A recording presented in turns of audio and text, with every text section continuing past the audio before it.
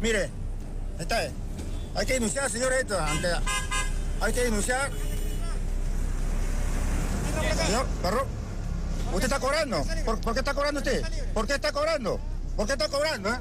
Se apoderaron de la vía pública, colocando estas barreras de madera y concreto. Aquel conductor que quiere ingresar a la vía auxiliar de la avenida Pachacútec para estacionarse es obligado a pagar. Este es pista libre, señores. Mire, este es pista libre. ¿Por qué cobran acá? Es pista libre. Ponen su... Oye, ¿cuál lo es? ¿Cuál lo es? ¿Cuál lo es? ¿Cuál lo es? A ver, ¿por qué cobras tú? ¿Tú por qué cobras? Dime.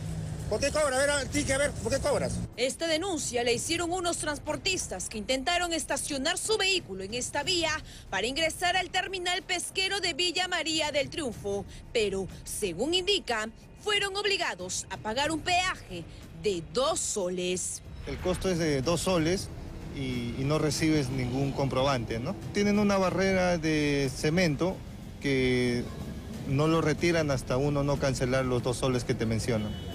Prácticamente te obligan. Así es, te obligan para poder ingresar.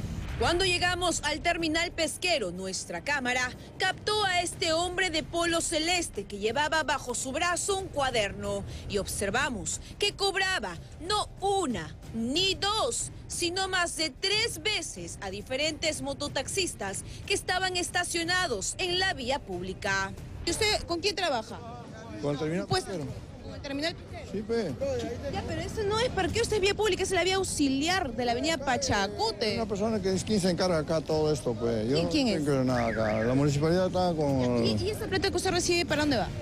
¿Cuál plata? El dinero que usted recibe.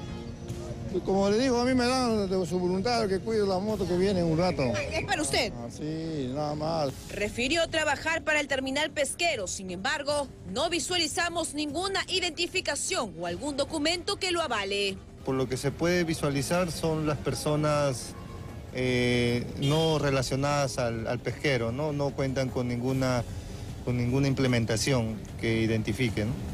En la misma zona vimos como este hombre se encargaba de parquear a los vehículos y de pronto recibir dinero de los conductores. Un hecho que sucedió frente a la mirada de los inspectores de tránsito de la municipalidad del distrito.